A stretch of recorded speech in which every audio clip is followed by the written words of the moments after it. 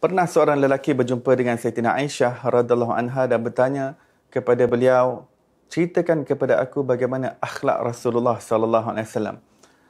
Maka Sayyidina Aisyah radhiyallahu anha mengatakan, tidakkah kamu membaca Al-Quran?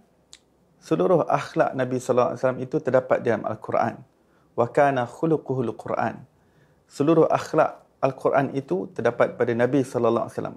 Rasulullah adalah umpama Al-Quran yang bergerak, Al-Quran yang hidup terjemahan Al-Quran yang bergerak iaitu Nabi diri Nabi Muhammad sallallahu alaihi wasallam.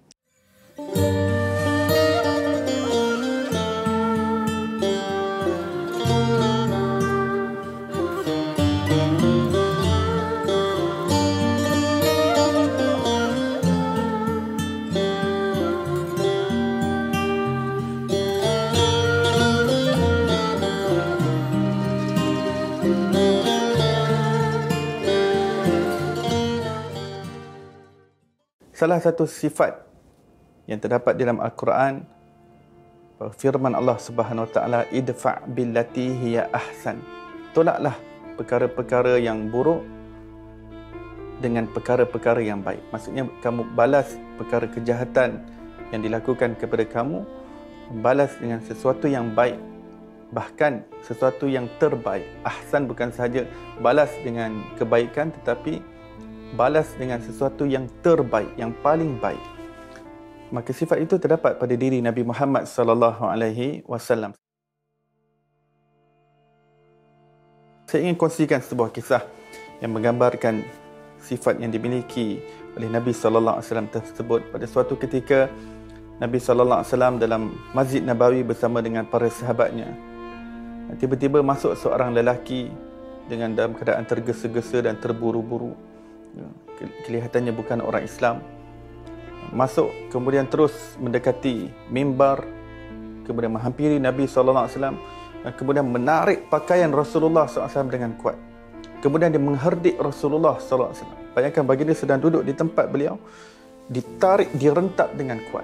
Dan kemudian dia meninggi suara kepada Rasulullah mengatakan, Wahai wahai Muhammad, mana hutang aku? Kamu daripada Bani Hashim memang suka melambat-lambatkan bayaran hutang. Maka dia telah menghina Rasulullah, dia mengeji Rasulullah, bahkan dia telah mengeji keturunan keluarga mulia Rasulullah sallallahu alaihi wasallam. Kalau orang Arab yang lain disentuh saja berkenaan dengan kabilahnya, keturunannya, memang akan jadi peperangan yang besar di situ. Kemudian dia, bukan sahaja itu, kemudian dia mencekik leher Rasulullah sallallahu alaihi wasallam dengan cekikan yang kuat. Sahabat mengatakan sampai kami dapat dengar suara Rasulullah. Kena kena cekikkan daripada daripada uh, lelaki tadi. Kemudian Sayyidina Umar Al-Khattab radhiyallahu anhu bangkit dengan pedangnya yang terhunus. Mengatakan ya Rasulullah izinkan saya untuk bereskan lelaki ini. Rasul mengatakan wahai Umar kami tidak memerlukan apa yang kamu tawarkan. Kami perlukan sesuatu yang lebih baik daripada ini suruhlah orang ini untuk menagih hutangnya dengan baik dan katakan kepada aku untuk melansaikan hutangnya dengan baik. Sebenarnya ya, Rasulullah memang ada hutang dengan beberapa peniaga Madinah kerana Rasulullah kadang-kadang tak kenal siapa yang baginda SAW berhutang. Apabila resit resit akan diberikan kepada Rasulullah kerana orang-orang yang miskin datang daripada pedalaman meminta daripada Rasulullah kalau Rasulullah tidak ada wang tidak harta Rasulullah tidak pernah mengatakan tidak Sesiapa yang meminta pada Rasulullah Baginda tidak pernah mengatakan la. Tidak ada dalam kamus Rasulullah mengatakan tidak kepada orang yang meminta.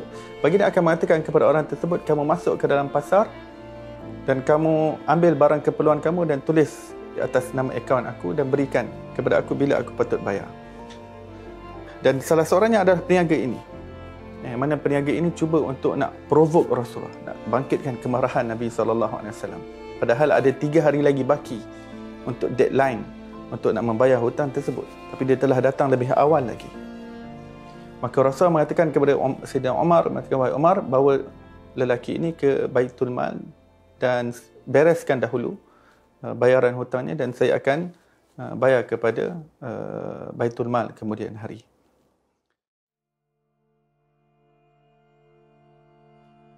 Maka dalam perjalanan pergi, lelaki tadi mengatakan, wahai Umar berhenti kamu kenal tak siapa aku? Aku tak kenal kamu. Kamu datang dan kamu bertindak sesuatu yang sangat menyayat hati aku terhadap kekasihku. Maka lelaki tadi mengatakan, aku bernama Zaid bin Sa'nah. Aku daripada kalangan orang Yahudi menjadi peniaga di pasar Madinah. Sebenarnya hari ini aku datang adalah untuk uji Nabi Muhammad. Adakah dia benar-benar Nabi? Kerana aku membaca dalam kitab Taurat dan segala ciri-ciri Nabi akhir zaman aku telah lihat ianya ada pada Muhammad. Tetapi ada ciri yang terakhir yang aku tidak dapat lihat kecuali aku kena uji dahulu. Maka Sayyidina Umar mengatakan apakah ciri yang terakhir itu? Mengatakan Nabi akhir zaman itu adalah bersifat pemaaf dan lebih bersifat berlembut, lebih bersifat pemaaf apabila seseorang uh, mengadakan suatu tindakan yang jahil ke atasnya. Suatu tindakan jahil maksud tindakan yang kasar dan keras kepadanya semakin bertambah kelembutan dan kemaafan Nabi akhir zaman itu. Dan hari ini aku datang, aku gunakan segala bentuk provocation. Aku gunakan segala bentuk perkara yang boleh membangkitkan kemarahan dan apa yang aku lihat adalah sesuatu kemaafan, suatu kelembutan. Maka wahai Umar, aku ingin masuk Islam. Maka Sayyidina Umar terus memimpin tangannya berjumpa dengan Rasulullah dan akhirnya lelaki Yahudi tadi masuk Islam di tangan Nabi wasallam yang menjadi orang Islam yang baik dan akhirnya beliau meninggal syahid dalam sebuah peperangan menegakkan kalimah Allah di atas muka bumi ini ketika Sayyidina Umar Al-Khattab menjadi Amirul Mukminin.